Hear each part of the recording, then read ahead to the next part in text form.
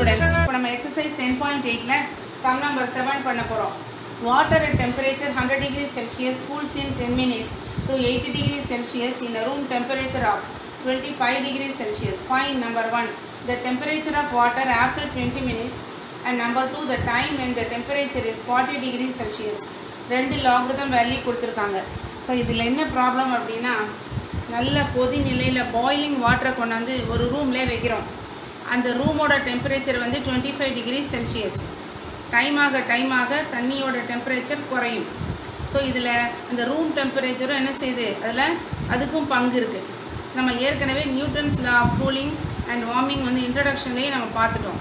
So உனக்கு புரியுதுன்னு நினைக்கிறேன். இப்போது நம்ம கொண்டு வந்து எப்போ கொதி நிலையில் அதாவது ஹண்ட்ரட் டிகிரி செல்சியஸ் டெம்பரேச்சர் இருக்கும்போது தண்ணியோட வாட்டரோட ஹண்ட்ரட் டிகிரி செல்சியஸ் டெம்பரேச்சர் இருக்கும்போது கொண்டாந்து வைக்கிறோம்ல அப்புறம் தான் டைம் ஸ்டார்ட்ஸ் ஏன்னா நம்ம வந்து அப்போ இருந்து தான் தண்ணியோட டெம்பரேச்சரை நம்ம அப்சர்வ் பண்ண ஆரம்பிக்கிறோம்.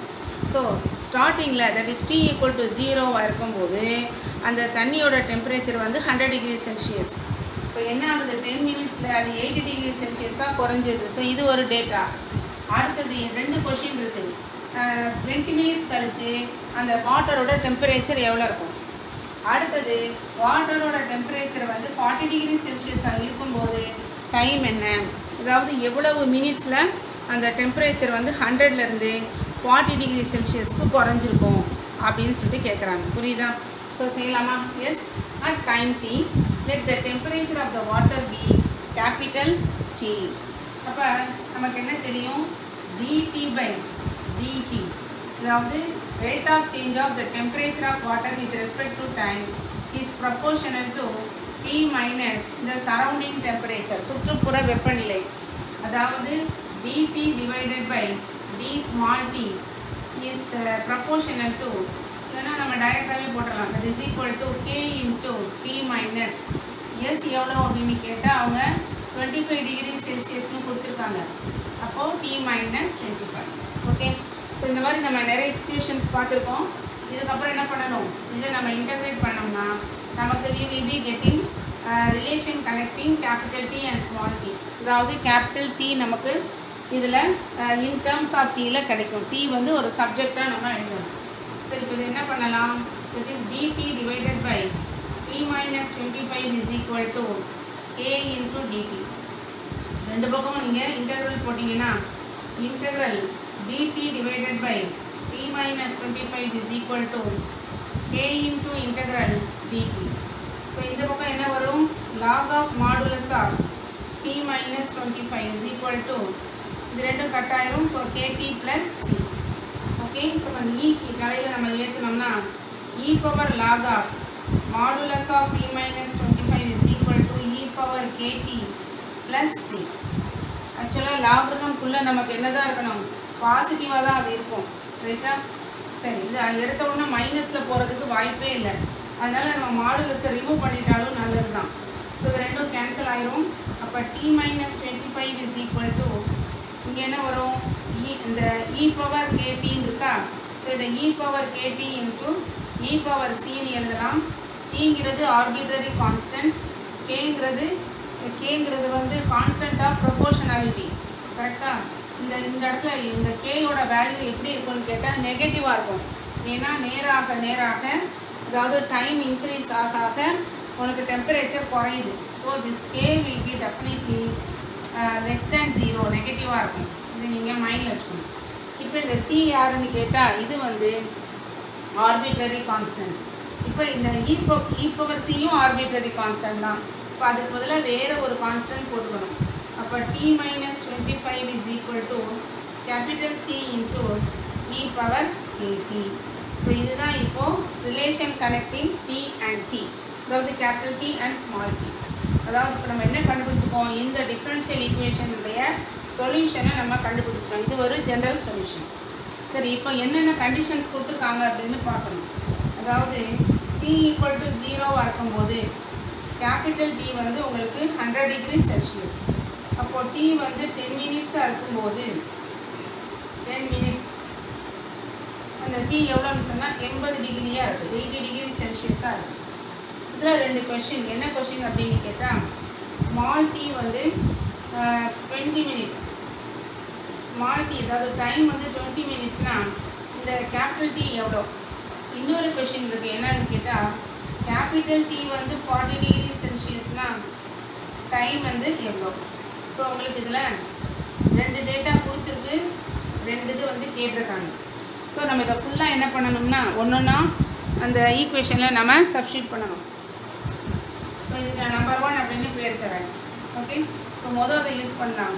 Small t equal to ஜீரோனா capital T hundred that is when small t equal to 0 capital T is equal to 100 degree Celsius. Therefore 1 implies equation number one so அந்த ஈக்குவேஷன் நம்பர் ஒன் என்னவாகும்? அப்படின்னு பார்த்தா இல்லை substitute பண்ணுங்கள் capital டிக்கு பதிலாக இப்போ hundred போடணும்.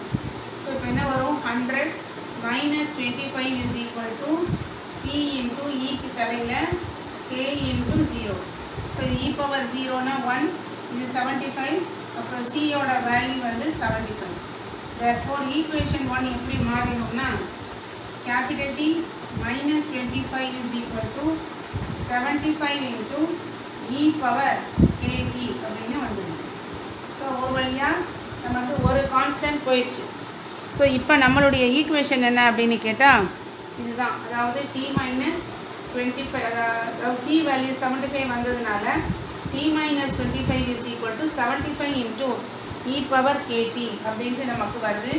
இப்போ இதை தான் நம்ம நம்பர் டூ அப்படின்னு அசியூம் பண்ணிக்கணும். ஸோ ஃபஸ்ட்டு டேட்டாவை யூஸ் பண்ணியாச்சு.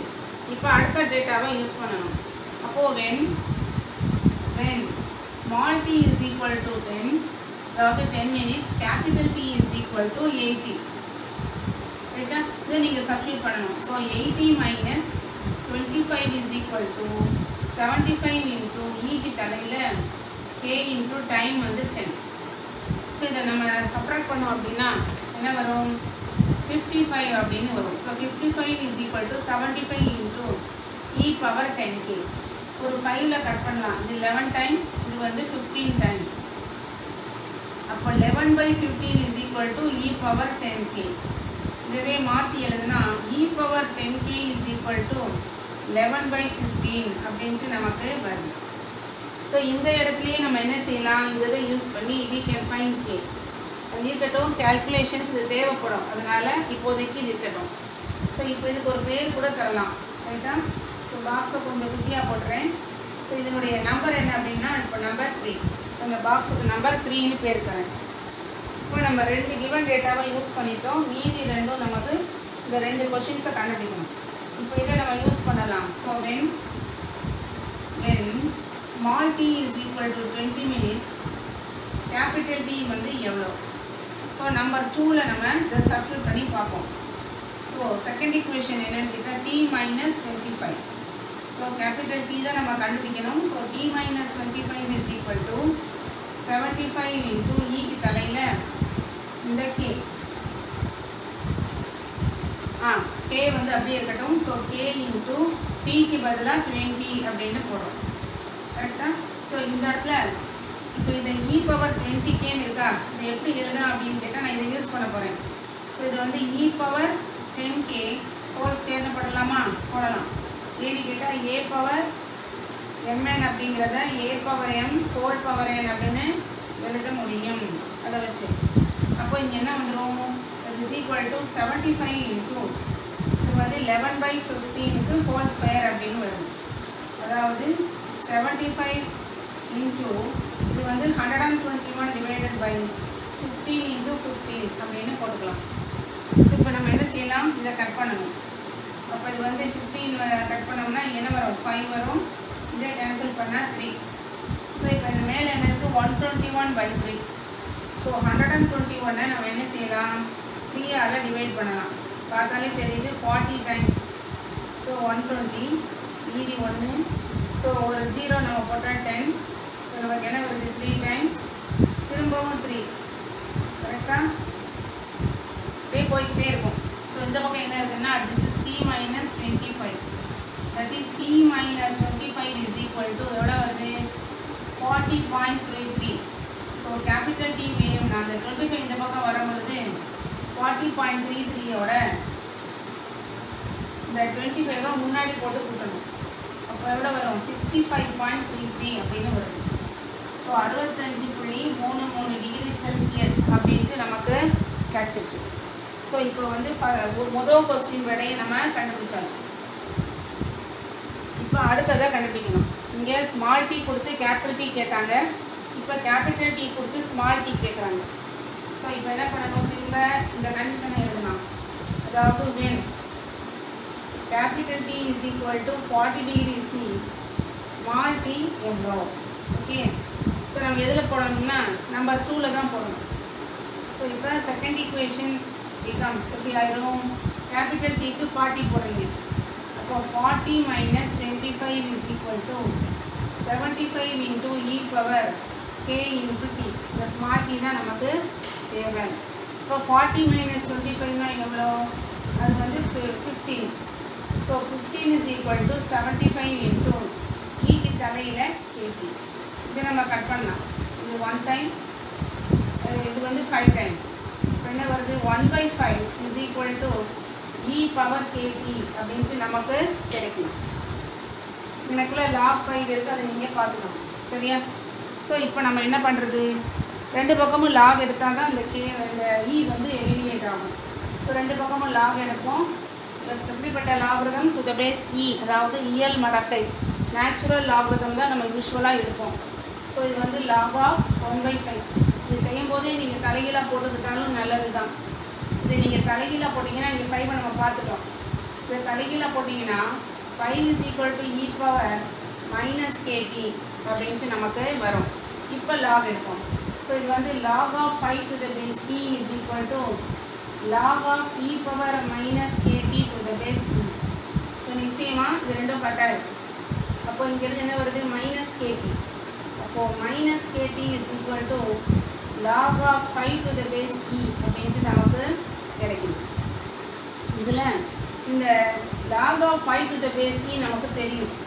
அது என்ன அப்படின்னா அது வந்து one point six zero nine four இப்போ இந்த பக்கம் நம்ம கேயை மட்டும் வச்சுக்கலாம். நம்ம கே வேல்யூ ஆக்சுவலாக நமக்கு தெரியும் ஏற்கனவே. E e power ten k கண்டுபிடிச்சிக்கோங்க இதிலிருந்து நம்ம என்ன செய்யலாம்? எஸ் இதுலேருந்து நம்ம என்ன செய்யலாம்னா அந்த இ பவர் கேயே கண்டுபிடிச்சிடலாம். கண்டுபிடிச்சி சப்ஸ்டியூட் பண்ணால் விட வரும். ரைட் அப்போ இந்த இந்த இடத்துல நம்ம இதை ஸ்டாப் பண்ணிக்கலாம். முதல்ல இதை நம்ம கண்டுபிடிக்கலாம். இது அப்படியே இருக்கட்டும். Now now number three implies so number த்ரீலேருந்து நமக்கு என்ன கிடைக்குதுன்னா ரெண்டு பக்கம் லாக் இருக்கும். அப்போது log of e power ten k is equal to log of eleven by fifteen to the base e ஓகேயா ஸோ இது ரெண்டையும் நம்ம கட் பண்ணிட்டோம்னா ten k is equal to எவ்வளோ வருது? Log of eleven by fifteen to the base e அப்படின்னு வருது. So இங்கேருந்து நம்ம என்ன செய்யலாம்? கேயை கண்டுபிடிச்சிடலாம். So k is equal to one by ten into இதோட வேல்யூ கொடுத்துருக்காங்க. என்ன கொடுத்துருக்கு? Minus zero point three one zero one அப்படின்னு கொடுத்துருக்கு. கரெக்டாக ஸோ இது ப்ளஸ் இது மைனஸ் இருக்கும்போது கே வந்து நெகட்டிவ் ஆகிடும் அப்போ இந்த இந்த டாட் வந்து முன்னாடி முன்னாடி வருமா பின்னாடி போகுமா? முன்னாடி வரும் டிவைட் பண்ணுறோம் ஸோ இது வந்து zero point zero three one zero one அந்த மாதிரி நமக்கு வருது. கரெக்டாக ஸோ டிவைட் பண்ணும்போது டென்னால் டிவைட் பண்ணும்போது புள்ளி வந்து எந்த பக்கம் நகரும்? லெஃப்ட் சைடு நகரும். மல்டிப்ளை பண்ணும்போது டாட் வந்து ரைட் சைடு நகரும். ஸோ கே கண்டுபிடிச்சாச்சு. நான் சொன்ன மாதிரியே கே நெகட்டிவாக வந்துருச்சா? எஸ் இப்போ தான் நம்ம என்ன பண்ணணும்? இந்த கே வேல்யூவை தூக்கி இந்த ஈக்குவேஷனில் போடணும். ஸோ இங்கே ஒன்று கண்டுபிடிச்சிருக்கோம் இதுக்கு ஒரு பேர் தரலாம். ஸோ இது வந்து த்ரீ வரைக்கும் நம்பர் போட்டிருக்கோம். ஸோ இது வந்து ஃபோர்னு வச்சுக்கோங்க. இப்போ ஃபோர் இம்ப்ளைஸ் இப்போ நீங்கள் ஃபோரில் சப்ஸ்டியூட் பண்ணிங்கன்னா என்ன வரும்? Minus of minus zero point zero three one zero one கரெக்டான தானே? ஆ into small t is equal to இந்த பக்கம் என்ன இருக்குது log of five to the base e log of five to the base e அப்படின்னு வருது. ஓகே ஸோ அடுத்த ஸ்டெப்பில் நம்ம லாக் ஃபைவோட வேல்யூ போடலாம். இங்கே மைனஸ் இன்ட்டு மைனஸ் கட் ஆகிடும் இப்போ மீதி என்ன இருக்குது zero point zero three one zero one t is equal to log of five to the base base e வந்து பாசிட்டிவாக இருக்கும். அப்போ இது one point six zero nine four அப்படின்ட்டு நமக்கு கிடைக்குது. புரியுதா வேணா ஸோ இப்போது நமக்கு டீ தான் வேணும். அப்போ நம்ம இதை கீழே கொண்டு வரணும். இப்போ கீழே கொண்டு வந்தீங்கன்னா இது வந்து one point six zero nine four divided by zero point zero three one zero one அப்படின்னு நமக்கு கிடைக்கும்.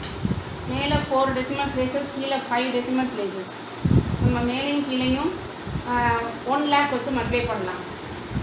அப்போ பண்ணோம்னா என்ன வரும்? பி இஸ் ஈக்குவல் டு இது வந்து one point six zero nine four into five zeros lakhs இல்லையா? அப்போ zero point zero three one zero one into three four five yes correct so multiply பண்ணீங்க அப்படின்னா இந்த நம்பர் எப்படி மாறிடும்? மேலே மேலே வந்து ஃபோர் பிளேசஸ் தான் இருக்குது அப்போ ஒரு ஜீரோ கூட வரும். கீழே டாட் போயிடும். போன பிறகு ஜீரோ ஒன் அப்படின்ட்டு நமக்கு கிடைக்கும். இப்போ நம்ம என்ன பண்ணணும்? டிவைட் பண்ணணும். டிவைட் பண்ணலாமா? So one six zero nine four zero இல்லை த்ரீ ஒன் ஜீரோ ஒன் இங்கே ஃபோர் பிளேசஸ் இங்கே வந்து சிக்ஸ் பிளேசஸ் அதாவது சிக்ஸ் டிஜிட்ஸ் இங்கே நாலு டிஜிட்ஸ் இங்கே வந்து ஆறு டிஜிட் இருக்குது இப்போ பார்த்தாலே தெரியுது நமக்கு. இது வரைக்கும் எடுத்துட்டோம்னா ஃபைவ் டைம்ஸ் போகிறதுக்கு வாய்ப்பு இருக்குது ஃபைவ் ஆல் மல்டிப்ளை பண்ணுங்கள் ஸோ இது வந்து ஃபைவ் அடுத்து zero five fifteen so subtract பண்ணலாம். சப்ராக்ட் பண்ணிங்கன்னா எவ்வளோ வரும்? Eighty nine five eighty nine அப்படின்ட்டு நமக்கு கிடைக்குது. இப்போ நம்ம என்ன செய்யணும்? இந்த ஜீரோவை கீழே இறக்கணும். ஸோ ஜீரோவை கீழே இறக்குனீங்கன்னா இப்போ ஃபைவ் தௌசண்ட் சம்திங் இருக்குது இது த்ரீ தௌசண்ட் அப்போ ஒன் டைம் போகும் அப்போ இது த்ரீ ஒன் ஜீரோ ஒன் நைன்ட்டியில் ஒன் போனால் எயிட்டி நைன் சரி ஒரு செவன் இது ஒரு டூ ஸோ மேலேயும் டாட் வச்சுட்டு கீழேயும் டாட் வச்சுட்டு ப்ரீ ஒன் ஜீரோ நம்மளாம் ஒரு ஜீரோ போட்டு கீழே இறக்கியாச்சு. இப்போ இதில் ஃபோர் டிஜிட்ஸ் இதில் ஃபைவ் டிஜிட்ஸ் இருக்குது நிச்சயமாக இதில் வந்து நைன் போட போட முடியாது. எயிட் போகிறதுக்கு வாய்ப்பு இருக்குது ஸோ எயிட் போடுங்க. ஸோ எயிட் இது வந்து zero then eight three eights are twenty four so நைன்ட்டியில் eight போச்சுன்னா என்ன வரும் எயிட்டி டூ இது வந்து ஜீரோ இது த்ரீ ஓகே திரும்ப என்ன செய்யலாம்? ஒரு ஜீரோ போட்டு கீழே இறக்கலாம். இப்போ இந்த த்ரீ ஜீரோ எயிட் டூ ஜீரோவில் எத்தனை தடவை போகும் அப்படின்னு கேட்டால் இது நிச்சயமாக நைன் டைம்ஸ் போகிறதுக்கு வாய்ப்பு இருக்குது கரெக்டாக ஸோ நைன் போகிறேன் ஸோ நைன் அடுத்து ஜீரோ ஒன் நைன் செவன் இது வந்து டுவெண்ட்டி செவன் அப்படின்ட்டு வருது. ஓகே நமக்கு ரெண்டு பிளேசஸ் போதும். இதோட நம்ம ஸ்டாப் பண்ணிக்கலாம். இதை கழித்து எழுதினாலும் சரி எழுதாட்டியும் சரி ஓகே